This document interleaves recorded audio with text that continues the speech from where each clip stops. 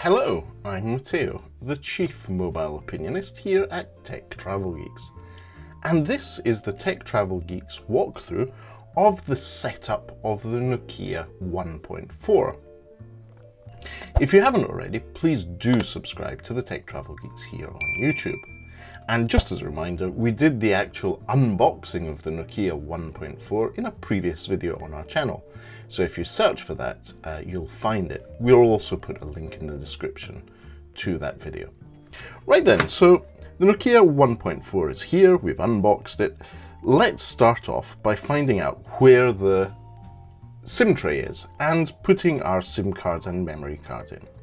Now, if you're looking at the device from the front, so you're looking at the screen, it's on the left. So on the left you have your SIM tray where you can just pop in your SIM ejector tool and eject it. Now this SIM tray is one of the good ones as we'll refer to them. So it takes two nano SIMs and a micro SD. So what I'm going to do here is pop one of my nano SIMs in and a micro SD. So expand the storage of the, of the device and pop the SIM tray in. So that's fairly straightforward.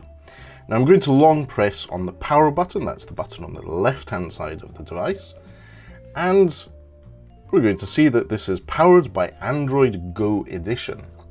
This is uh, Android's reduced or uh, the optimized for devices with low storage and memory and limited processing capabilities. Um, and according to Nokia, they have promised an upgrade to Android 11. But going by Nokia's behavior in the last uh, year or so, I would not hold my breath for that. Especially considering the Android One devices uh, are now six months uh, from the release of Android 11 and they're all still on Android 10. Anyway, we're now faced with a welcome screen, English United Kingdom. It's already recognize that from the SIM card and location. I'm now going to connect to a Wi-Fi network. The Futurama fans among you will appreciate that I'm connecting to Planet Express. So that's my password input. First impressions of the keyboard are that the keyboard is quite responsive. The haptic feedback on the keyboard is a little bit mushy. But on a device priced at well under £90 sterling, that's not surprising. Now it's going to check for updates for the operating system for the device, some key applications. Uh, and overall you can see that that display is uh, pretty nice. In this case, uh, this is a 720 by 1600 pixel display, it's 20 to 9 aspect ratio, and whilst I've been saying that, the update is ready. It's 521.7 megabytes. Now, I'm lucky that I'm on a fast internet connection, and that should download pretty rapidly.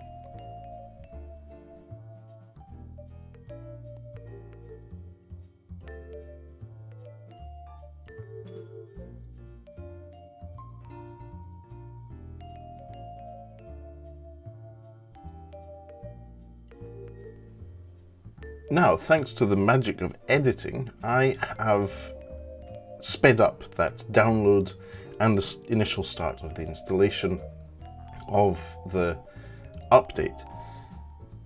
In reality, that took around about three minutes to download and install on the device.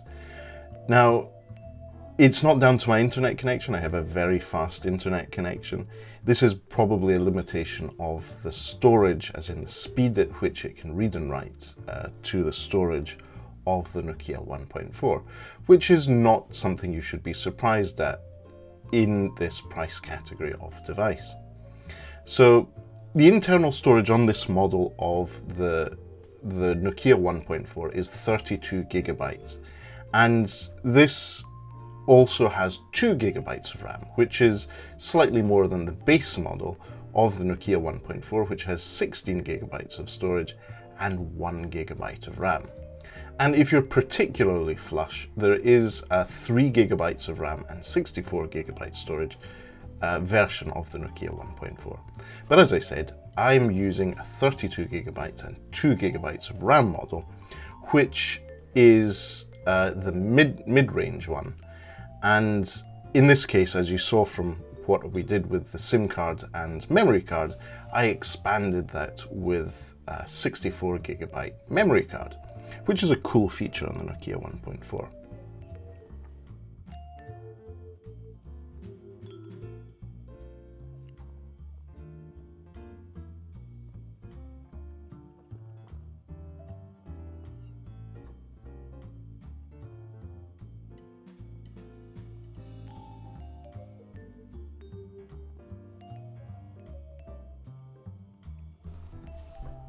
Okay then, so um, again, thanks to the magic of editing, I have fast forwarded that very slow experience of actually installing the operating system update.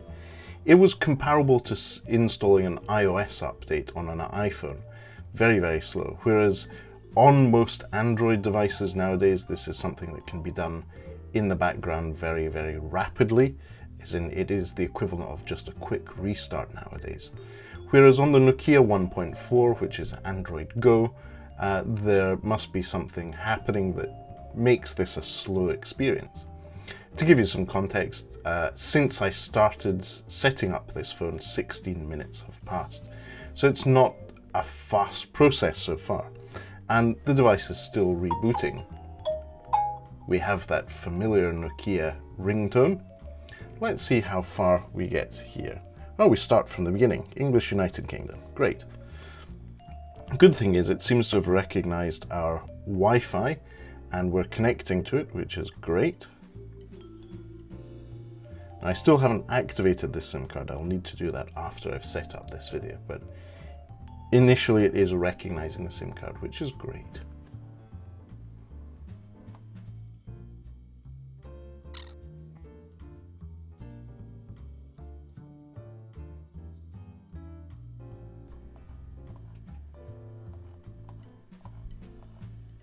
Right then, so now we're being offered the option to copy apps and data from another device. And I don't want to do that. I want to go through the full setup as if this were a new smartphone. This really gives you the best impression of how a smartphone performs while setting itself up and what the experience is like. Now, we're being prompted to do this again. I'm going to press don't copy again checking for updates again, is a little worrying. It's not doing this straight away.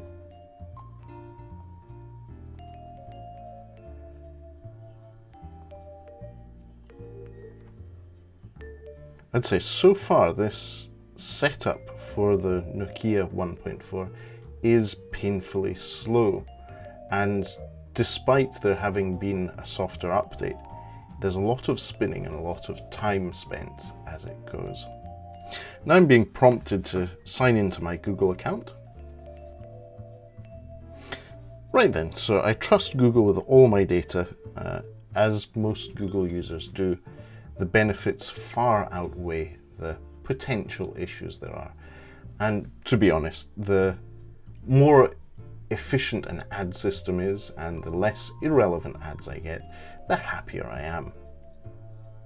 And I don't want to not have ads because that would harm the creators of content that I use on the internet. Now we have the ballot screen. This is part of what you get in uh, the EU. This gives you the option to choose between Bing, Google, PrivacyWall and Info.com on what the search engine will be on your smartphone. And I'm choosing Google. Now we're going to set up the fingerprint scanner, but before I do that, I need to set up a PIN. Now I've set up my PIN and as you can see here, we are being prompted to touch the sensor on the back of the smartphone. Now this is, in my view, the best place for a fingerprint sensor on the back of the smartphone and it works great in my experience. And so far I have to say this seems to be quite responsive and fast. So I've added my fingerprint, fantastic. This is a feature that was not present in the Nokia 1.3 and it's good to see on the Nokia 1.4, that is the fingerprint scanner. This also has Face Unlock. So let's see how this works. There we go. So that's my face recognized for Face Unlock. And I think we can carry on with the setup and see if there's anything else we can go with. Now, I've already set my voice for the, the G Assistant. Let's see if it requires my voice again here.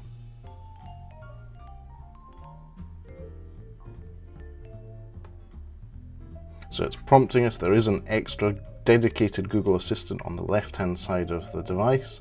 That's great. Okay then, so anything else? So I think we're good to go.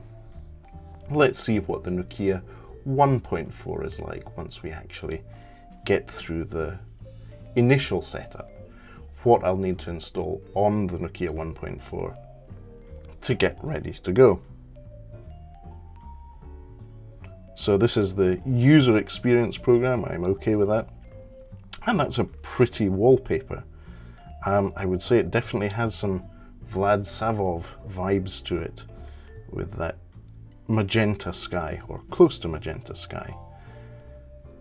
Now let's see what our notifications are. So prompting us to finish the setup, not now. Uh, Lebara, the SIM card that I've put into it, is now uh, updating. So I'll need to format the memory card and I'm going to set this up as portable storage. So you have two options here. One is to set it up as phone storage, and it does unified storage between uh, the phone storage and the micro SD.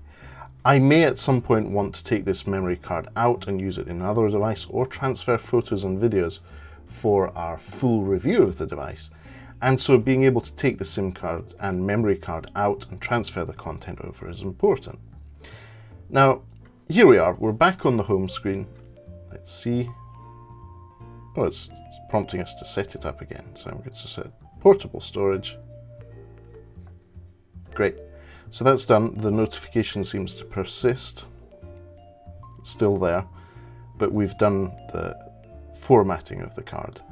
Now this is Android Go edition, so you'll notice that the search bar on your home screen is slightly different. So you have quick access to web apps from Google.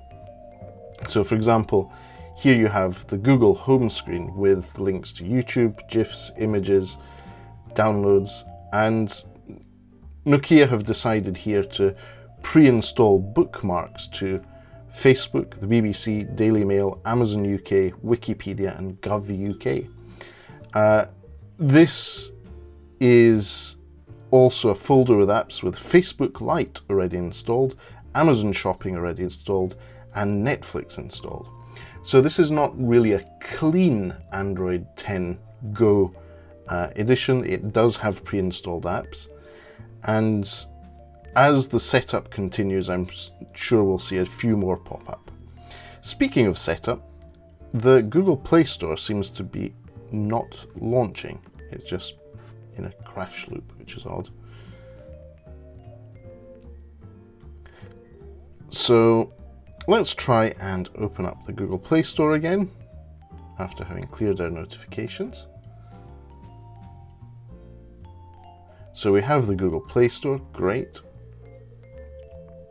Let's see what apps and games are pre-installed on the device.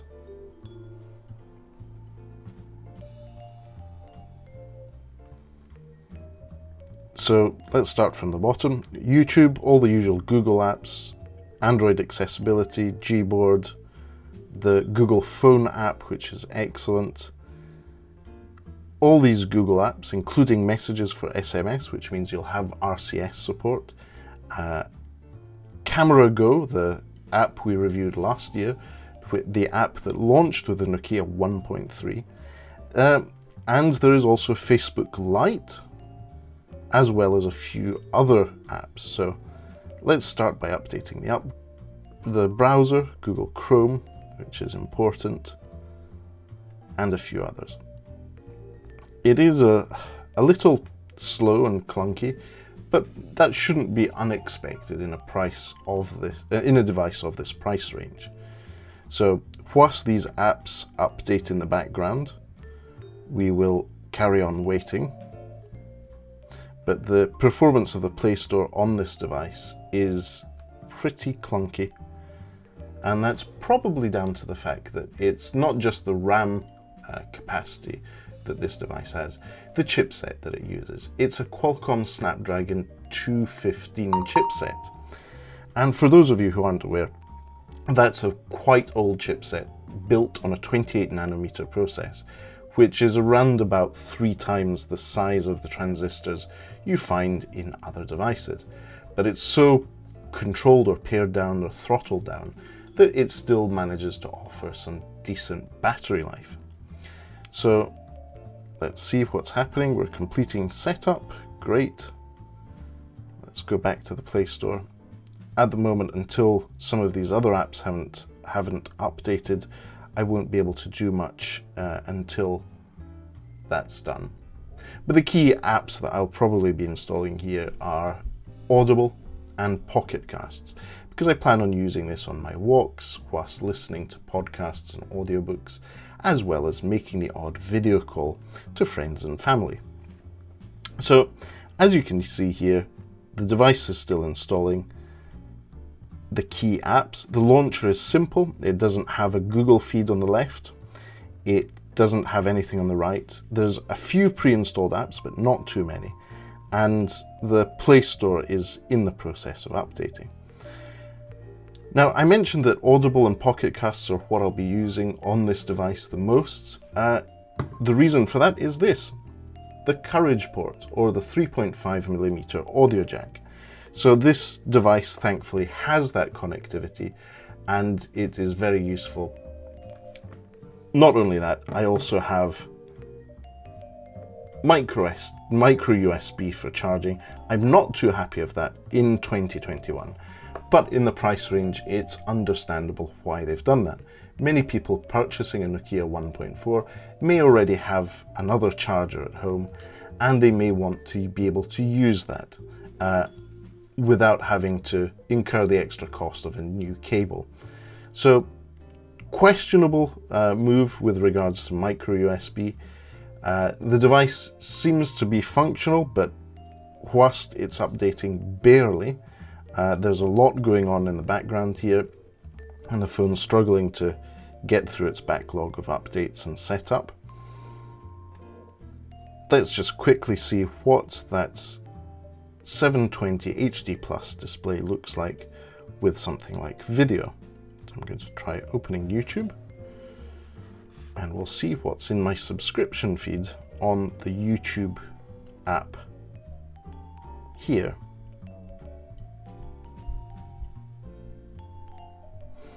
Oh look, there's my Drone Sunday video that we published yesterday on the Tech Travel Geeks YouTube channel.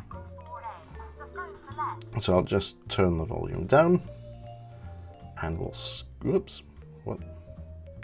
Oh, Google Chrome has updated in the background and has decided to take over the screen of the device. So this is the multitasker on the Nokia 1.4. I will go back to YouTube and try and pick up where Google Chrome decided to interrupt. Now let's see in the quick settings what we have here. So you can edit quick settings and one of the things that I do keep an eye on is auto rotate, Bluetooth, torch. Sadly I have no plans to travel at the moment because of the current global pandemic, but airplane mode is an option, as well as data saver, dark theme, which is present, and uh, hotspot option. But for now, I'll stop at that. So I now have these apps and services in place. Let's turn auto rotate on and have a look at this video in full screen. So reproduction is pretty clear. It's nice and crisp for this display. Let's just check the resolution we have it at. So it's at 360, so I wonder what it performs like at 720. Okay, that's pretty decent. There's some decent detail there at 720. I could quite easily watch quite some videos on this screen. It's not, it's not terrible. So, I think we can wrap up this video. It's going to take another hour or so for those apps at this pace to update on the device.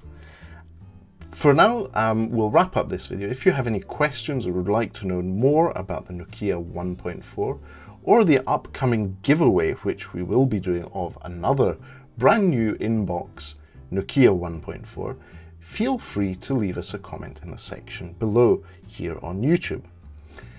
If you don't already, please do subscribe to the Tech Travel Geeks here on YouTube. Have that bell dinged so that you know when we publish new videos.